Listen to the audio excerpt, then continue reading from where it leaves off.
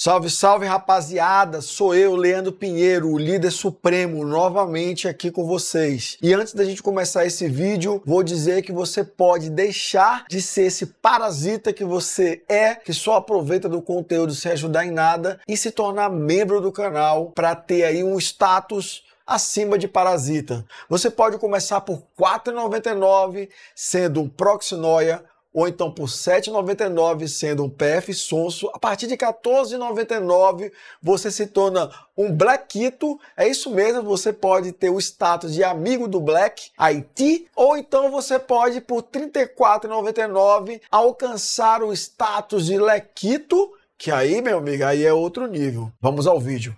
Pessoal, nesse vídeo aqui de hoje, eu vou mostrar para vocês uma continuação daquele vídeo que a gente fez sobre HA no PF Sense. Eu fui configurar aqui na minha rede e como eu uso PPPoE, né, para conectar aqui no meu provedor, que no caso é a Vivo Fibra, eu tenho IP fixo, né? Eu tive alguns problemas de configuração do PPoE e aí eu trouxe para vocês aqui um lab para a gente ver como é que a gente resolve isso, tá? Deixa eu ir aqui pro desktop e não esqueça de se inscrever, dar o like, deixar um comentário aqui embaixo, comente, líder supremo, estou aqui para saudá-lo e conte aí nos comentários como o líder supremo ajudou você de alguma forma com os vídeos aqui desse canalzinho humilde, ok?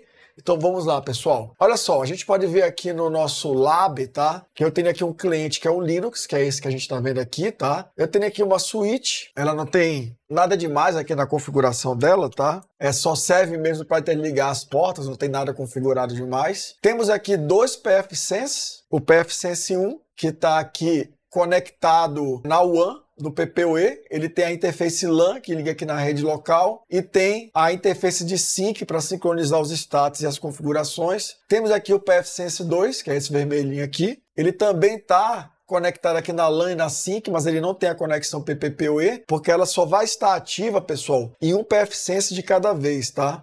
A ideia é que quando o PFSense primário cair, essa conexão ela vai migrar para o secundário, quando o primário voltar, ela migra de volta para o primário.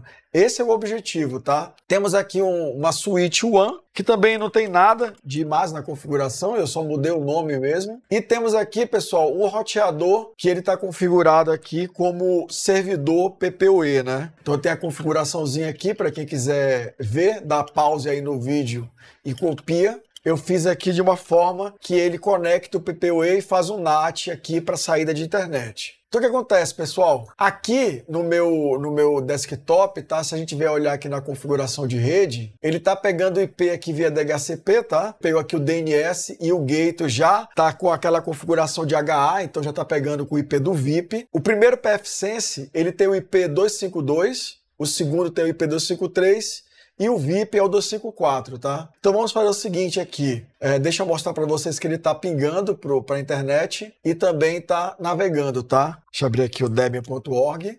Oxe, acho que eu devo ter digitado alguma coisa errada, mas tá aí. debian.org. Abriu aí a página do projeto, tranquilo. E o que, que a gente vai fazer, pessoal? Para mostrar aqui para vocês, ainda não está configurado. A configuração que está aqui agora, só para vocês entenderem, tá? Se a gente vier aqui na One, o PPoE, ele está direto na interface One, tá? Se eu vier aqui em interface segments, a gente vai ver aqui que a One tá o PPoE e o PPoE está na VTNet 1, que é a porta 1 aqui dos PFSense. Qual o problema? É que a VTNet 1 do PFSense 1, ela tem um MAC address e a VTNet 2 do PFSense 2 tem outro MAC address. Com isso, na hora que a gente desligar o faro primário, ele vai migrar o PPoE. Vamos mostrar aqui para vocês. Diagnostic, Route System. Peraí, eu acho que eu tenho que confirmar aqui. Pronto. Confirmei. Se a gente vier aqui no primeiro PFSense, ele vai desligar. Vocês vão ver que o ícone aqui vai ficar cinza. Pronto, ele desligou. Se a gente for olhar aqui no Linux, pessoal, ele já perdeu a conexão, mas ela vai ser restabelecida automaticamente.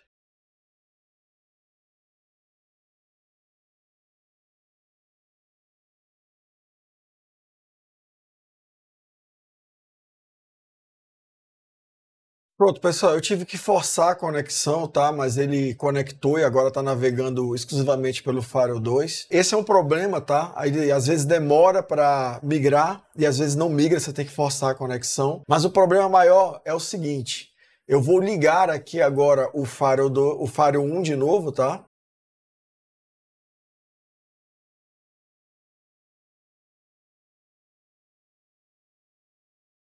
Beleza, pessoal, ele já ligou então o PFSense 1. Se a gente olhar aqui, ó, o CARP, ele já está de volta aqui no PFSense 1. Então aqui, status, CARP. E aí com isso, a gente tem um pequeno problema, né? Deixa eu logar aqui para mostrar para vocês. Que é o que, pessoal? O CARP ele já está ativo aqui no roteador 1. Só que se a gente ver aqui nas configurações, ó, a conexão do PPoE, ela ainda está presa no PFSense 2, tá? No Firewall 2. Para ele migrar a conexão aqui, eu tenho que vir e manualmente status, interfaces e desconectar o WAN aqui no Firewall 2 e aí ela vai reconectar aqui no Firewall 1 e aí a gente volta a navegar na internet, tá? Então, pessoal, como é que a gente resolve esse problema do PPUE ficar preso, tá? Uma coisa que eu vi na documentação oficial ali do, da, da NetGate, né? Na verdade, eu encontrei isso no fórum, é que ele suporta fazer o PPoE em cima de uma interface virtual, no caso, uma interface CARP. Então, pessoal, como é que a gente vai resolver isso, tá? Vamos fazer o seguinte, tá? Aqui em interfaces, a Segment, eu vou pegar aqui a VTNet 1, que está sendo usada agora para fazer a base aqui do PPoE, e vou adicionar uma nova interface. Vou chamar ela aqui de ADSL, colocar aqui PV4 e vou colocar o IP para ela. O 92, o 68, 254, 252, barra 24. Vou dar aqui um save, vou dar um apply. Vou vir aqui no PFSense 2. Vou fazer a mesma coisa, interface, as segments. Vou adicionar aqui a interface VTNet 1. Vou editar, habilitar, mudar aqui o nome para ADSL. Vou escolher aqui o IP V4, o 92, 168, 254, 253, barra 24. E aí a gente salva aqui, aplica. Aí o que, que a gente vai fazer agora, pessoal? Vamos criar a interface CARP, tá? Firewall, Virtual IP. Vamos adicionar aqui a interface. Vamos adicionar aqui a DSL, CARP, 192, 168, 254, 254, barra 24. Vamos colocar a senha.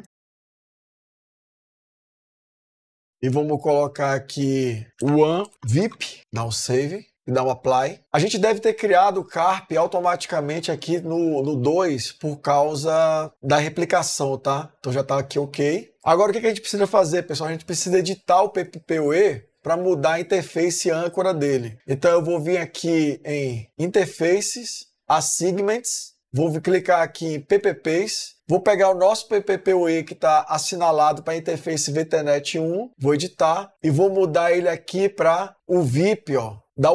E vou dar um save. E eu tenho que fazer a mesma coisa no secundário. Interface. Essa configuração ela não é replicada, tá? A Segments, PPP, editar e vou mudar da VTNet 1 para VIP da One. Vou dar um save.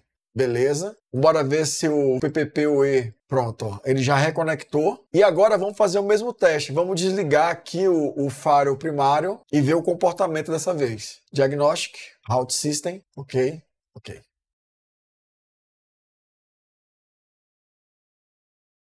Ele desligou, tá? Se a gente for olhar aqui, ele já migrou para o secundário. E agora, então, eu vou religar aqui o primário.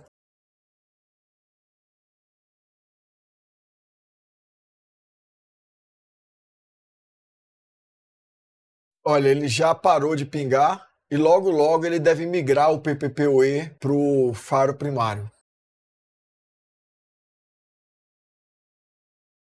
Já migrou o PPoE para o faro primário, dessa vez bem mais rápido, né? Eu não tive que fazer nada, foi totalmente automático. Então, tanto a migração do primário para o secundário foi mais rápida, quanto a migração de volta do secundário para o primário foi automática, que não estava acontecendo antes, tá? E com isso, pessoal, a gente tem o problema aí, né, do PPoE em cima da alta disponibilidade resolvida e agora o nosso lab, né, a nossa configuração de HA funciona em cima do PPoE. Então é isso, pessoal. Chegamos ao final desse vídeo. Se você quer deixar de ser um parasita e quer fazer parte dessa seita maravilhosa aqui, na qual eu sou o líder supremo, você pode se tornar membro desse canal Se você não puder se tornar membro, mas quiser ser um pouquinho menos parasita, quando você for comprar alguma coisinha lá no AliExpress, use o nosso link de afiliado. Ele está na página principal do canal e também na descrição de todos os vídeos. Você pode mandar um Pix através do Live Pix GG, que é esse QR Code que aparece por aqui, também está na descrição do vídeo. Na descrição do vídeo também tem meu Pix direto, mandando pelo Live Pix.